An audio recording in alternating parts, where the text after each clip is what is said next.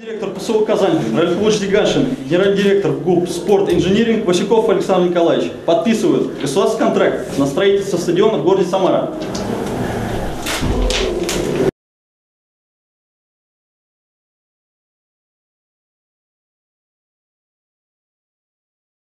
Подписали контракт, при нашем присутствии подписанный контракт э, на строительство первого стадиона, который мы сейчас начнем строить. Почему мы в Казани? Потому что является подрядчиком ПСО «Казань», компания, которая строила этот стадион, у которой огромный опыт. И поэтому, конечно, сегодня для нас это важно, чтобы этот опыт перенесен э, на стадион в Самаре. Так что я вас поздравляю. И надеюсь, что так же качественно и вовремя будет все выполнено.